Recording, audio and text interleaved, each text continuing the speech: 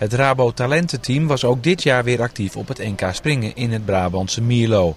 We stellen ze aan u voor. Sjaak Sleiderink uit Denenkamp. Stephanie van den Brink uit Nijkerkerveen. Aniek Poels uit het Limburgse Zwolgen. Hendrik Jan Schuttert uit Ommen. En Michael van der Vleuten uit Mierlo. Wanneer ben je begonnen met paardrijden? Nou, ik ben al vroeg begonnen. Ik ben met uh, zes jaar ben ik toch al een beetje begonnen met een beetje pony zitten en uh, gelijk al een paar huppeltjes maken en zo ben ik er een beetje ingegroeid. Waar kwam de liefde vandaan voor de paarden?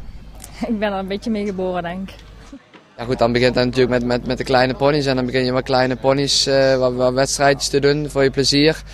Ja goed, en, en langzamerhand ontwikkel je je eigen daarin en, en ja, ga je het meer serieus nemen.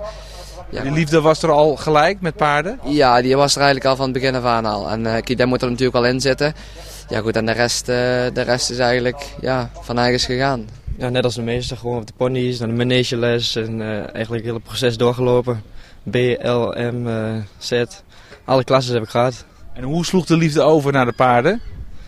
nou, ik vind het gewoon een mooie sport. Je bent met levende wezens bezig. En ja, ik vind het gewoon eigenlijk een mooie sport om te doen. Waarom heb je gekozen voor het springen?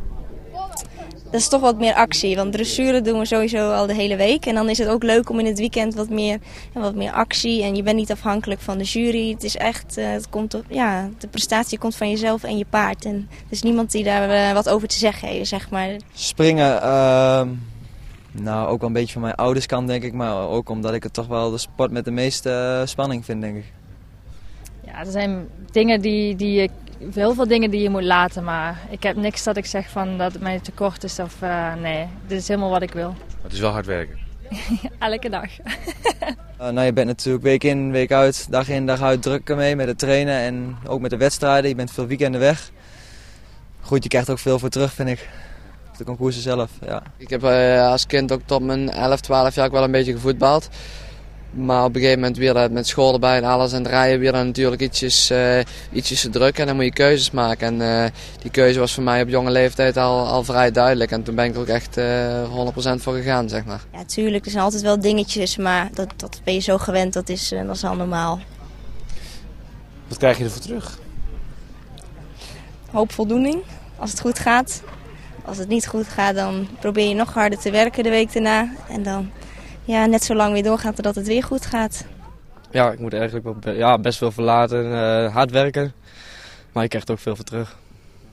Wat krijg je ervoor terug zoal? Nou, als je succes hebt, dat is eigenlijk het mooiste wat je ervoor terugkrijgt. Uh, als je kampioenschap, ik uh, was in 2009 Europees kampioen. Dat is echt super als je, ja.